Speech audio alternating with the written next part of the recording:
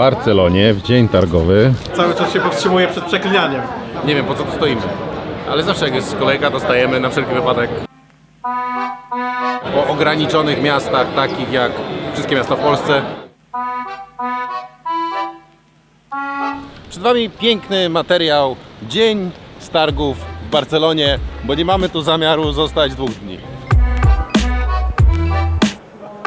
Na razie tak pustawo, aczkolwiek pan w taksówce powiedział, że 85 tysięcy osób przyjechało na ten kongres, z czego 87 tysięcy Chińczyków. Pod tą marką Huawei próbuje nam, znaczy, dobra, nie będę mówił nic złego, bo Właściwie dlaczego nie mam mówić nic złego? Wrócimy tutaj, tylko muszę znaleźć szatnię, bo to jest szatnia. Honor Magic VS, y, ten składak, który będzie dostępny w Europie i który ma y, wszystko, czego potrzebujemy w Europie. No, składany smartfon, bardzo fajny. Mm, e, A, poczekaj, nie, wcale nie taki fajny. Nieważne, z której strony będziemy na to patrzeć, to to tak nie powinno wyglądać. I Samsunga, gdybym teraz trzymał, nie mam go pod ręką, to on w tych wszystkich e, pozycjach byłby bardzo sztywny. E, Ten zawias e, w Samsungu jest e, taki hardkorowy. Ustawiasz go w tej pozycji, on się trzyma w tej pozycji, zupełnie jakby się urodził w Niemczech. Natomiast zewnętrzny ekran oczywiście jest fajny, bo jest szeroki. Tutaj nie ma przerwy. Z zewnątrz wygląda jak normalny, nieskładany smartfon. Jest dość wąski, ale też nie super wąski. Wydaje się być węższy niż Samsungowy składak. No i kamery, w sensie obiektywy są tutaj trzy. Jak widzicie zakres dość szeroki, od szerokiej przez potrójny zoom, pewnie jest to zoom bezstratny optyczny, aż do dziesięciokrotnego, który no jest, nie jest taki zły wcale, ten dziesięciokrotny. I powinniśmy mieć możliwość robienia sobie selfie, korzystając z tych potrójnych aparatów. Najważniejszym e, chyba tematem jest cena tutaj. On powiedział, że 1500 euro mniej więcej będzie kosztował i e, w kwietniu będzie dostępny na rynku. E, szukamy Nokii, bo Nokia podobno wspólnie z brackets. Nokia wspólnie z iFixit e, stworzyła telefon, który można w każdej chwili otworzyć, nawet Patrycja by wymieniła baterię. Jak, Cześć, dzień dobry. e, Jak nowe e, Oppo składane jest odbierane na tych targach? Ojej, jeszcze ciężko mi powiedzieć, bo dopiero przyszedłem, ale generalnie jest duże zainteresowanie i dużo ludzi i zapraszam was, żebyście też zobaczyli. A ja znalazłam androidka.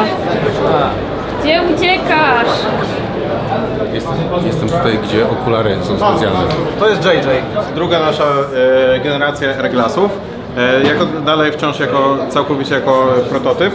E, jest o tyle lepiej w e, tej generacji, że jest, e, wyświetlacz jest w dwóch e, okach, że tak powiem, przez co też e, dużo lepiej, e, bo w poprzedniej generacji też po e, użyciu, po 15 minutach bolała mnie głowa. W tych już tak nie jest. I ja jako trener, na przykład jedna funkcja promptera dla mnie będzie ide- idealna, bo nie będę się musiał uczyć prezentacji w ogóle na pamięć, bo bym tylko nałożył to na głowę i czytał cały czas tekst promptera, zachowywał cały czas e, łącznie z, publicznością, by było po prostu super. Tutaj nie pokazujemy tego, ale będzie miało nawigację, czyli jedziesz na rowerze, pokazuje Ci nawigację. Do tego e, ma głośniczki, więc możesz słuchać na tym muzyki, tylko że to nie jest do ucha, tylko to jest e, przewodzenie kostne. Okulary do rozszerzonej rzeczywistości pokazało na targach również Xiaomi oraz Nubia. Trudno na pierwszy rzut oka odróżnić jedno od drugich. Mimo tego okulary spotkały się z całkiem niezłym odzewem medialnym, ale w kategorii prototypy zdecydowanie najważniejszym punktem tych targów był rozwijany smartfon od Motorola, o którym film mam nadzieję, że już widzieliście. Jeżeli nie, to zapraszam. Jest krótki, ale fajny. Mówię o filmie. I trochę też o smartfonie, choć ten akurat się wydłuża. W tej samej kategorii rozwijasów pojawił się prototypowy laptop od Lenovo. Lenovo szaleje ostatnio z pomysłami na laptopy. Jeden wielki ekran składany na pół, dwa ekrany połączone zawiasem, a teraz to. I to teraz wydaje się przynajmniej z mojej perspektywy najciekawszym pomysłem. Laptop wygląda bowiem całkiem normalnie, ten ekran chowa się gdzieś do obudowy pod klawiaturę, a kiedy potrzebujecie, żeby było go więcej, po prostu się wysuwa. Tutaj stoimy w kolejce, żeby zobaczyć e, tablet Nubi. To jest 3D tablet, tylko podejrzewam, że tak jak w przypadku wielu rzeczy 3D, na przykład e, 3D ekranów e, laptopów, które widzieliśmy w Vegas, to nie będziemy w stanie Wam tego pokazać przez kamerę, więc jakby... No, in the camera you will not be able to see. Problem ekranów 3D polega na tym, że są tam takie dwie kamery, które muszą zobaczyć wasze oczy, co oznacza, że jeżeli macie jedno oko, to nie zobaczycie 3D.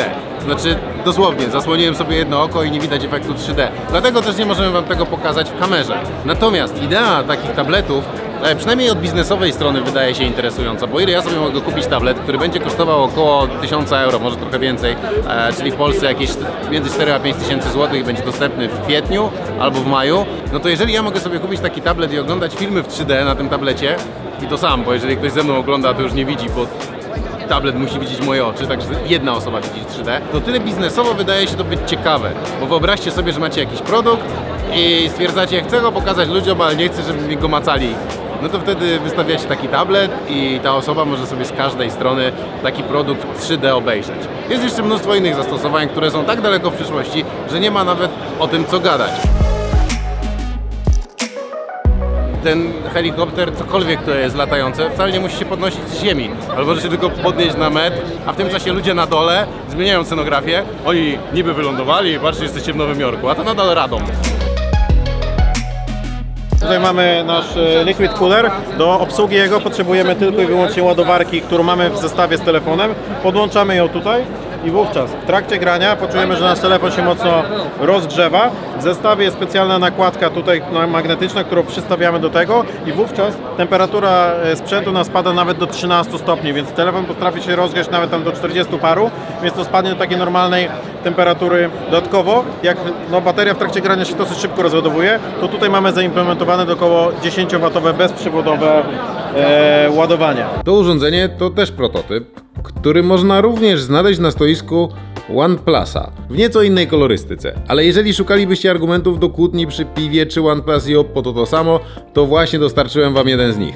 Na stoisku za nami pani robi konkurencję Patrycji w wymienianiu baterii w smartfonie.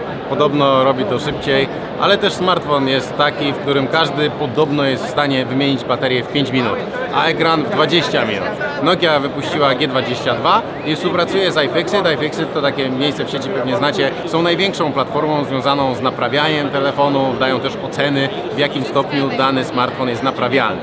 I Nokia wypuściła G22 właśnie w takiej kooperacji z iFixit i dzięki temu iFixit e, sprzedaje dość tanio, bo e, no dobra, ta Nokia G22 to też nie jest jakiś wybitny e, smartfon, to nie jest flagowiec, ale gdybyście chcieli wymienić w niej na przykład ekran, no to kosztuje to 54 dolary, no to jakieś 200-300 zł.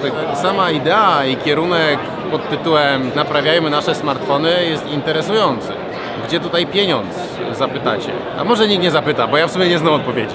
Pimientos de padron, papas arrugadas, e, patatas bravas. Jak się domyślacie, są to słowa, chociaż może się nie domyślacie, że są to słowa z menu restauracyjnego. Tyle umiem po hiszpańsku. Dlatego, że nie wykorzystałem możliwości, które daje Speakly. Aplikacja, która uczy tylko najbardziej potrzebnych słów, które sprawiają, że zaczniecie szybko mówić w obcym języku. Będziecie mogli się porozumieć z lokalsami, nie tylko zamawiając jedzenie czy piwo w barze. Link do Speakly jest pod filmem. Dzięki reklamie, którą przed chwilą zobaczyliście, Gada mi pokazuje wam w tym filmie tylko to, na co mam ochotę. To dla mnie ważne, że za wszystko w Barcelonie zapłaciłem sam. Nikt mi nie kupował biletu na samolot czy miejsca w hotelu, więc nie musiałem być za nic wdzięczny i mówić, że coś jest fajne, a czegoś innego nie pokazywać, bo firmie, która płaciła jest to nie na rękę.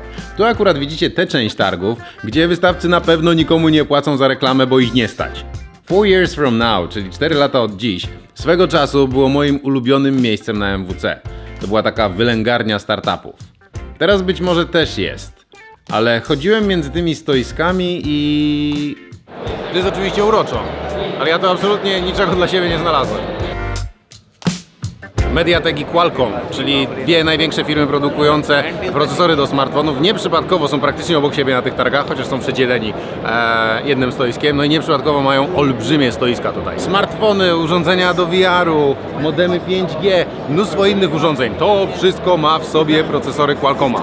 Podobnie choć w nieco innym rozłożeniu wygląda to na stoisku Mediateka, który do niedawna był postrzegany jako taka firma, która produkuje procesory dla tanich e, i średnio drogich e, smartfonów. Teraz coraz częściej pojawia się w droższych modelach.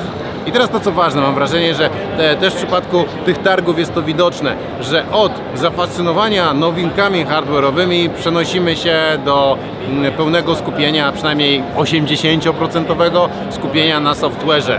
wymaga to implementacja tych wszystkich algorytmów sztucznej inteligencji, które potrzebują oczywiście super szybkich procesorów, żeby szybciej działać i odpowiadać na nasze durne pytania, ale tam bardziej rozwija się teraz technologia.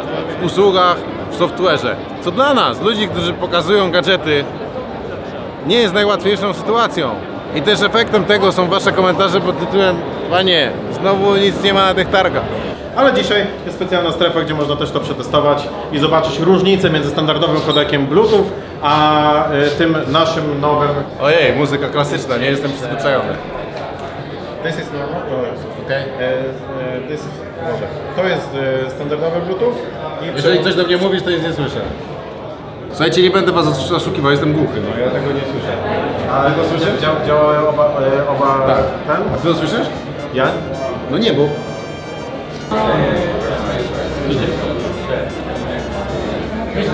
No tutaj słyszałem. A nie, w bit trafiłem.